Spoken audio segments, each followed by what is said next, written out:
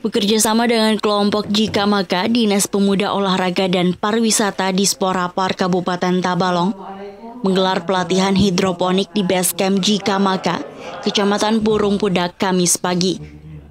Diikuti sebanyak 30 peserta, menyasar para anak muda yang berasal dari berbagai kecamatan. Sekretaris Dispora Parta Balong Abdurrahman mengatakan, pelatihan ini sebagai bentuk kepedulian pemerintah kepada masyarakat khususnya anak muda dalam meningkatkan keahliannya. Di samping itu, melalui pelatihan ini, pemerintah dapat merangkul anak muda yang selama ini kesulitan mencari pekerjaan dan memiliki keterbatasan ekonomi agar terhindar dari hal-hal negatif. Kami sesuai dengan program yang sudah kami anggarkan di Disporapar, ya Alhamdulillah sangat positif. Karena apa? Kami ada peduli dengan masyarakat, terutama warga-warga para pemuda untuk meningkatkan keahlian mereka, untuk meningkatkan apa namanya hidup mereka dalam hal kegiatan pelatihan ini.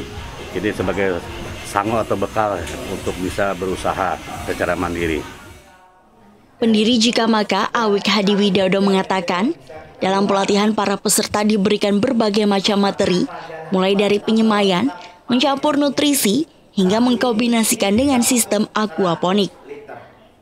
Pelatihan yang diberikan lebih banyak praktek daripada teori dan akan berlangsung selama dua hari. Adanya pelatihan ini diharap dapat membuka wawasan baru bagi anak muda karena hidroponik memiliki peluang besar di Tabalong. Tujuan dari pelatihan hidroponik ini adalah menciptakan wirausaha muda di Kabupaten Tabalong.